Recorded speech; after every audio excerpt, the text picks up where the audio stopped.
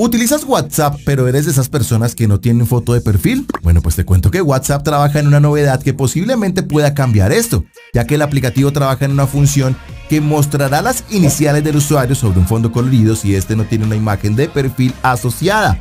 O sea que WhatsApp va a modificar los avatars de los usuarios sin foto de perfil, las cuales hasta ahora consisten en una imagen de perfil vacía por unos nuevos que muestren las iniciales de dicha persona.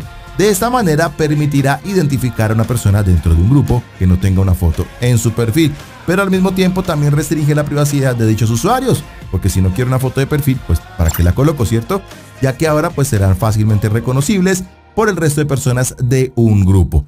Por este lado, malo por WhatsApp, pero es lo que llegará a la aplicación.